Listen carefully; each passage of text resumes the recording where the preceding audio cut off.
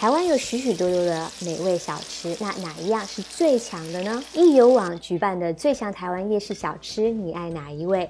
里面发现咸酥鸡是最强的小吃。那这么好吃的小吃啊，它的创始人又是谁呢？Hello，你好，我是 Cici。今天呢，就让我跟你分享如何在家里可以做出这个非常酥脆的咸酥鸡。那它的由来你有晓得吗？等等，就让我慢慢的告诉你。那现在赶快跟我来吧。那现在呢，就让我们回到二零零四年，那时候呢，我还是高中生啊，高中一年。我的一个台湾朋友呢，在学校的附近的奶茶店里买了一袋咸酥鸡，那他就顺便的问了我一下，你要不要尝尝看？那我就回答好啊。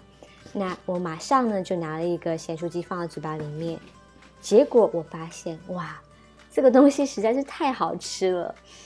我记得那个时候我还非常喜欢吃啊麦当劳的鸡块，那吃过这个咸酥鸡之后呢，这个鸡块真的是要靠边站了。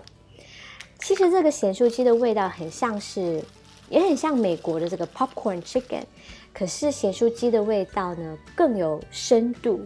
那现在呢，又让我们快转到二零零三年，我记得那个时候我去台北拍摄我的美食节目《美食天堂》。然后我们就去了这个士林夜市，在那里呢，当时我真的是眼花缭乱，我觉得怎么可能会有这么多种小吃，这么多店，这么多这么多人，我的注意力呢完全没有办法集中在一种食物上。然后我心想说：“哎呀，我要赶快赶进度啊！”所以那天呢，我记得我真的是每一样东西都尝了一口。我右手拿着珍珠奶茶，哦，好好喝。然后左手呢，大概是拿了十几袋这种台湾的小吃。当然最难忘的还是这个台湾的咸酥鸡。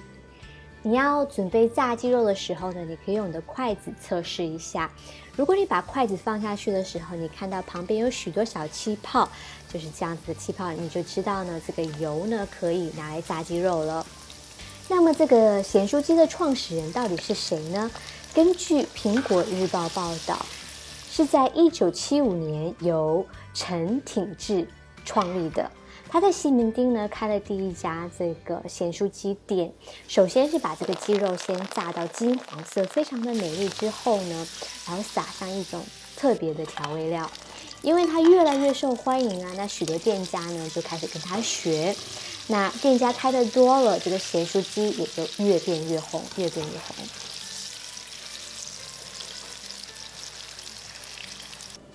我们今天这个咸酥鸡呢，味道真的是很棒，非常的酥脆，可以比得上这个我在台湾吃到的这个咸酥鸡。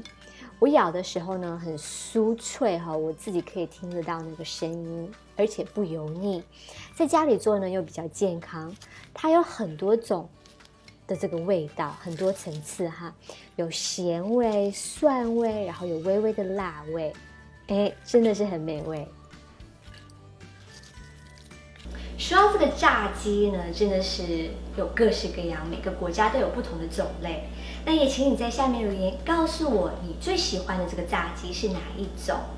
也别忘了订阅、按赞，我们下期见喽，拜。